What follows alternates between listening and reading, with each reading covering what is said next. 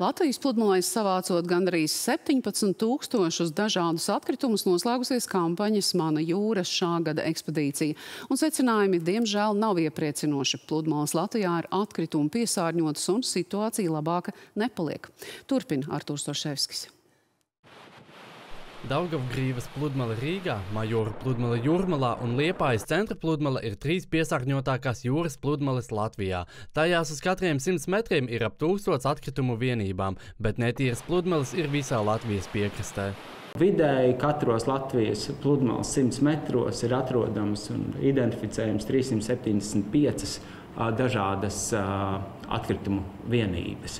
Taču Eiropas Savienības noteiktais mērķis ir 20 vienības. Trešdaļa atkritumu ir cigarešu izsmēķi. Trīs ceturdaļas no visiem atkritumiem ir plasmasas atkritumi, piemēram, maisiņi, pudeles, iepakojumi.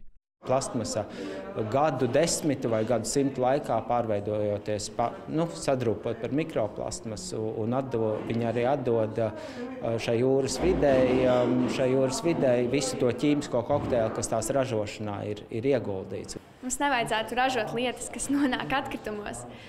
Kā mēs redzējām, liela daļa ir plasmasa un lielākā daļa ir vienreizlietojamā plasmasa, kurai ir ļoti īsts dzīves mūžs. Taču uzlabojumus ir devusi depozīta sistēmas ieviešana. Jau divus gadus pudeļu un skārdeņu izplatība pludmalēs ir ievērojami mazinājusies.